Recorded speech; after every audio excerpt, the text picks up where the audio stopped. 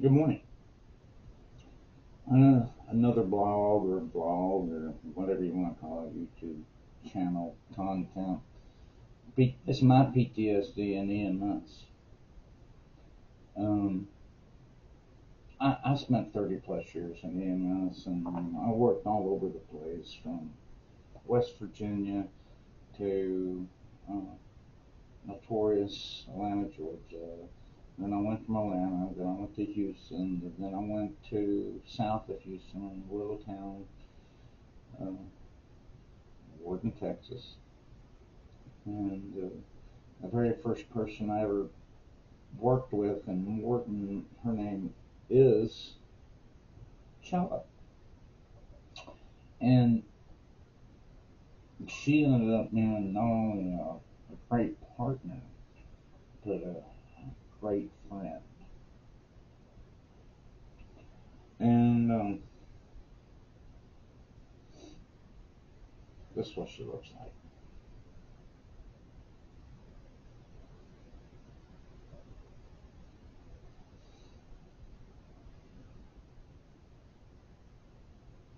It's my first day in the city of Wharton,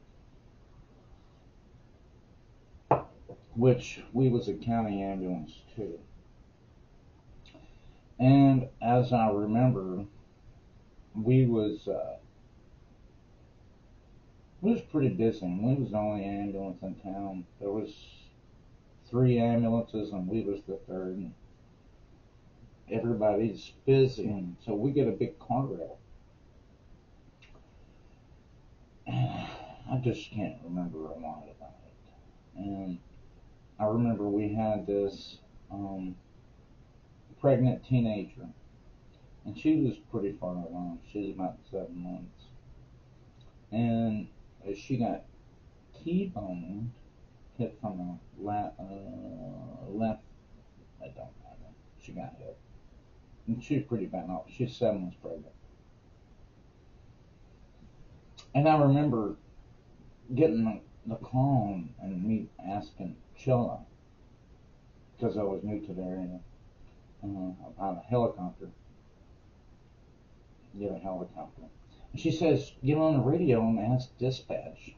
Tell them to get you a helicopter out.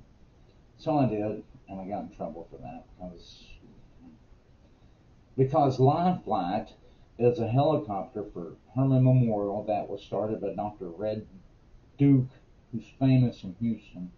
And then there was another helicopter service. Well, I was from Georgia, and Life Flight's a generic term, but it's not in Houston. So, anyhow, I get out, we get out there, and I remember it's just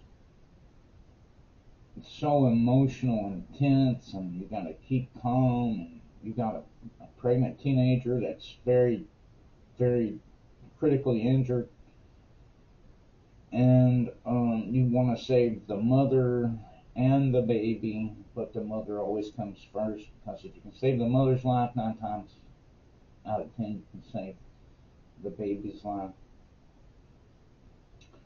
And uh, so, long story short, we got on the helicopter and, and uh, got her sent to the hospital. She lived, and the and the baby died. But I couldn't remember the story, and so I, I texted Joel I said, "Can you text me or email me what you remember?" And so me and Chella we do texting, and it's and it's periodically, periodically. But we will always, and all my partners, we will always remember each other. And this is what Chella had to say. Well, I'm just going to play a portion of it. This is what she had to say. Hi, LB. It's Chandla. Um, I just wanted to send you a little voice message um, in reference to the call that you're talking about. I'm sitting here in traffic on 90 trying to get to 59 to go home because, well, of course, Houston traffic is shit. So here I am sitting in traffic. Um, so, yes, that was one of my favorite calls with you. Um, mainly because we had so much fun and because, you know, we had a great outcome. The patient survived. And although it looked um, like she wasn't, I know I remember thinking to myself, wow, if we don't do something like right now, right now, she might die and the baby might die. And you said to me, and I'll, I'll never forget, you said, well, not as long as we're here, she ain't gonna die. And I took it and I ran with it. And I love that part about our story that anytime I was with you, I felt extra confident in what we were doing and that it was the right thing always, um, especially for the patient. And being with you, you know, I learned so much and I'm always forever and ever grateful for that. So let's go back to that night, right? So I remember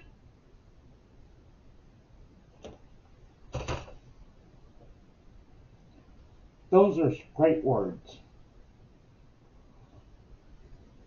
I always treated all my patients like they were my brother, my sister, my wife, my father, my mother, my grandmother, and my family. I've always loved people. I've always loved helping people. And uh, I still help people in a limited capacity. But most of the time I'm stuck here at the house, living out my memories and having fun with my wife and my little dogs. God bless.